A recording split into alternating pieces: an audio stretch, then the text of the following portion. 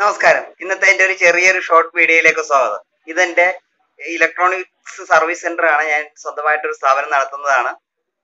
അപ്പോൾ ഞാൻ ഇവിടെ വെച്ചൊരു വീഡിയോ എടുക്കാമെന്ന് വെച്ച് ചെയ്യുന്നതാണ്